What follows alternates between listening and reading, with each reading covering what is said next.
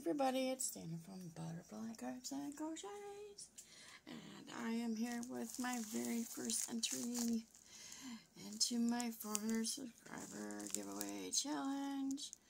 Um, is to send a mini clipboard. I'd say about like maybe a 5x5, 4x4, something like that, you know. Sometimes you have room to decorate it and, and put a positive affirmation on it. Uh, make sure, obviously, make sure you have a little loop on it so I can hang it up in my office. Well, it's my little cube. It's not my office, but it looks better right now. And it's like, ugh. So, and then number two was to send a couple, send a rock from your state because that's my grandson Gabriel. He's collecting rocks and he's just fascinated with everything. So that was that. And then number three to get extra point was there's a secret giveaway in the video. If you knew what it was, you don't write it in the comments. You send it. That gets you three extra points. It's in the video. So, but anyways, and the the um, it start it's already started.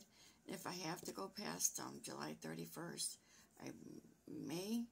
It just all depends on when my surgery is scheduled. I'm trying to, because I'm not going to be able to go anywhere for like at least two weeks. The doctor said home. That's it. So, but anyways, because I'm giving away the um, Echo Park Mystery Box.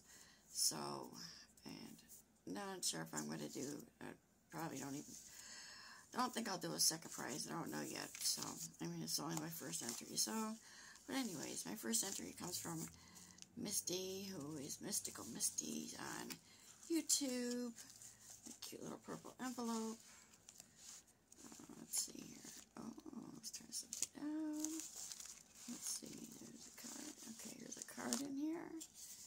Uh, it Hi Dana, I hope you like the clipboard I made you. I also included two specimens for your grandson, and she and she wrote a little PS down here, and she was right, but she didn't send it, so I said, here's a cute little clipboard. Look at this butterfly. How adorable. It is. That cute? And it says, keep going and keep growing. It's so cute. Lift up right here. That's cute.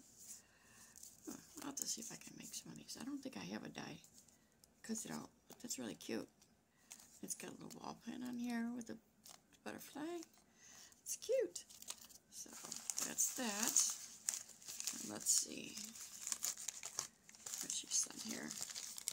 Oh, there's two of them here. Ooh, he's going to love you. This one is, ooh, it's got purple in it? No way. Okay, let's take this out. It's got purple. Are you serious? Wow, look at that. That is cool. The purple in it? Oh, wow. He's gonna love this. It's a fluorite Illinois State mineral. Hmm. Well, make sure I keep these in here.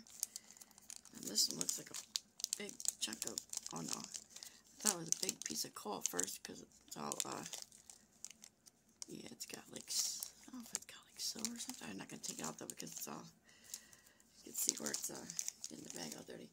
But anyways, I'm going to keep this in here. I'll show you address. That here for right now. And then I will, um, I'm not going to hang these up in my office just yet. I'm going to wait and see how many I get and uh, go from there. So anyways, I hope everybody has a great week. Um, I'm working until Thursday, and then we're off because of the 4th of July. And I got to see my oldest granddaughter. She was here for a little bit tonight. I was like, oh my gosh, I miss her so much. She's grandma's girl.